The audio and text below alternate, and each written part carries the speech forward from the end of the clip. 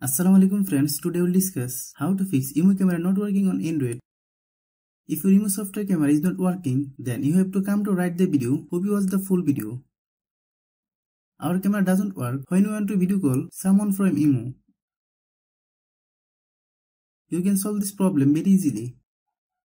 If you are new to my YouTube channel, please subscribe. First, open the Play Store. Then search imo. Click imo app. If you get any update, please update. Then click Settings.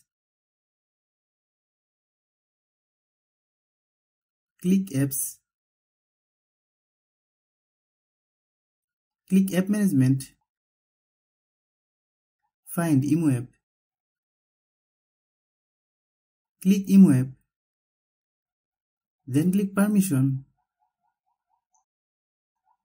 Then allow all permission.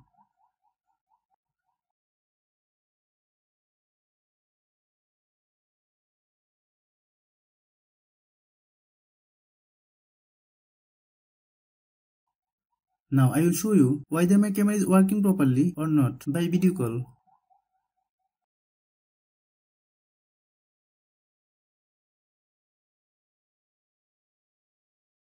You can see my camera is working properly. If you are new to my YouTube channel, please subscribe. If you like the video, please share with your friends.